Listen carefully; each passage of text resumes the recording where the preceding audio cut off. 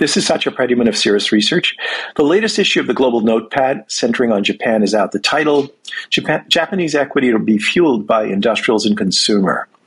Uh, in this report, we focus on the market, the Japanese equity market. Part of this is that we've seen a very strong rally in the last 18 months. It's up about 30% or so.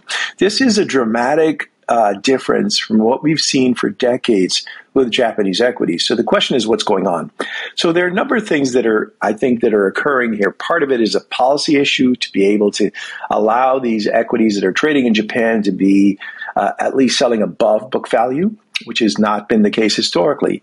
Two, the profit cycle seems to be stabilizing. And three, there is this need for anything but China exposure that seems to be really underway still.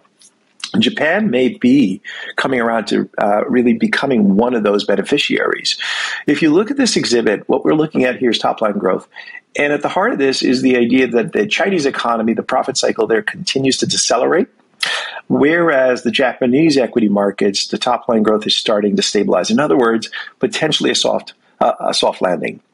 Importantly, to the right, what you also see is that estimates are on the mend for Japan, while we're see, what we're seeing in China is that that data continues to deteriorate. Uh, so overall, when we look and we put this together with the Japanese outlook for profits, it does look as if we've had some additional data that shows that they are on the mend. And the estimates have really spiked higher and uh, have started to really become much more supportive of where the share prices are going. In terms of performance, if you drill down into the markets, we've seen some leadership rotations, but what is interesting is that it has not been the sort of similar sort of prof, uh, leadership profile we've seen in the States. Here, what we're seeing in the last 12, 6, 12 months or so is uh, the financials and the energy market, energy sectors are actually uh, some of the strongest that we're witnessing. Um, so overall, though, most of the equity market seems to be stabilizing and recovering. And then finally, looking at valuations, what we're looking for, though, here is multiples to expand in a market that's been depressed for a long time.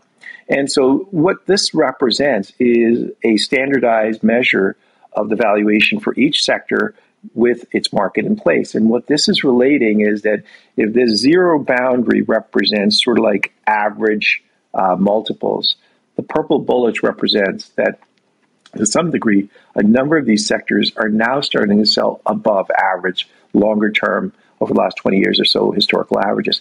And this is a good thing. The fact that multiples have begun to expand in a world that really we haven't seen this for, for quite a long time. So overall, we think there is much more of a focus on Asia, especially considering the noise and the friction really with China. Um, we think the upshot of this is Japan benefits, and uh, this report delves into it a little bit closer than the last few. With any questions, please feel to reach out to us. Thank you.